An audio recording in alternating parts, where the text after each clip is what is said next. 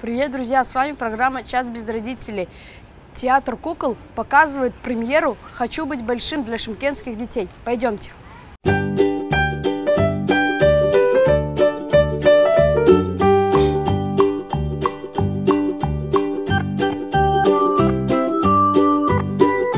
О, привет! А для чего вы сегодня сюда пришли? Посмотреть театр, Для чего вообще нужен спектакль? ну, чтобы чему-то научиться, знать чему-то новому. Ты для чего пришла на спектакль? чтобы увидеть и чтобы всем детям было весело. Я первый раз сюда пришел, пришел вместе учительницей. Спектакли нужны, чтобы, чтобы развлекать детей, чтобы дети узнавали все новое.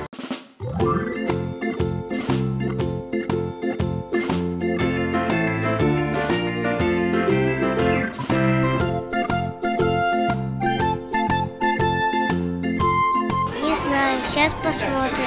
Я думаю, что это показывает сказку. А я еще маленькая, я не знаю. Не знаю.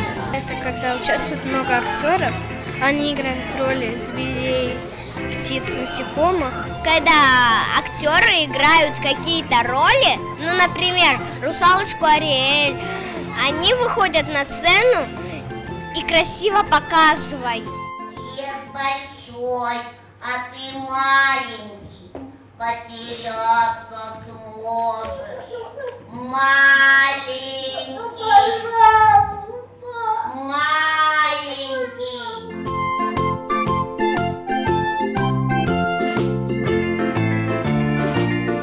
Мне понравился котенок.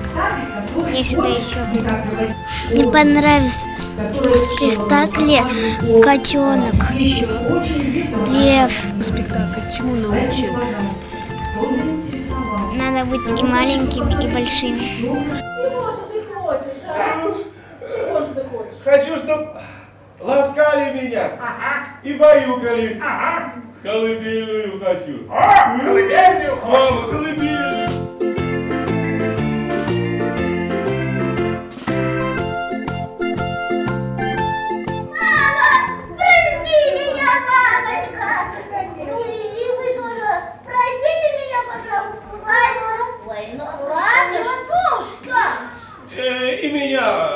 Простите. О! А я все поняла. Они просто хотят быть.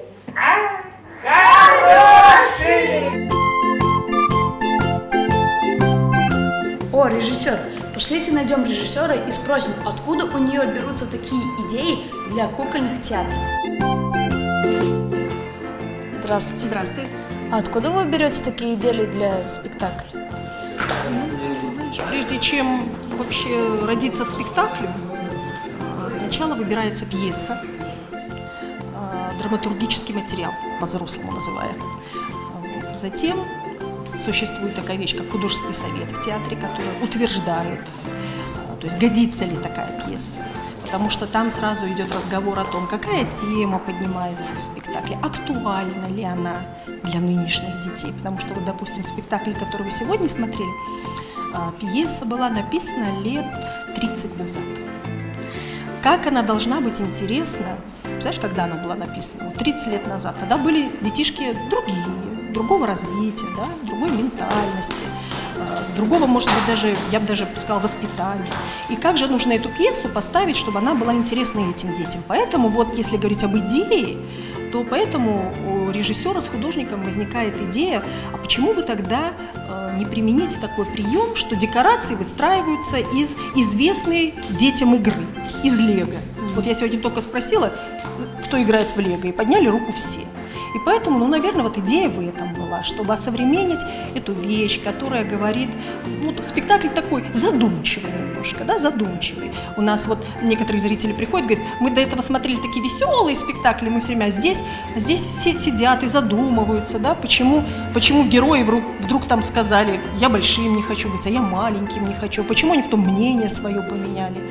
Вот когда поднимается такой вопрос, художественный совет рассматривает, допустим, годится вообще такая пьеса нам в постановку или нет. Если годится и ее утверждают, тогда уже художник э, с режиссером решают, вот в каком ключе можно ставить спектакль.